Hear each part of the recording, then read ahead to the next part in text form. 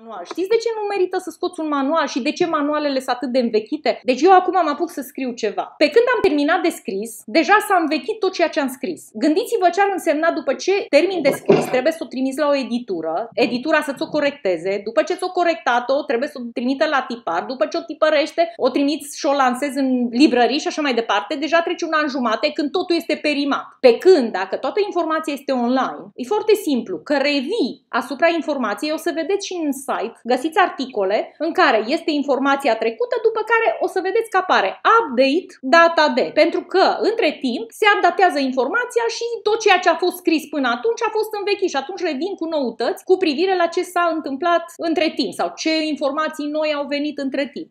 Pentru mai multe sfaturi și trucuri, accesați www.medataloș.ro, iar dacă doriți să sprijiniți acest proiect, nu uitați like și share.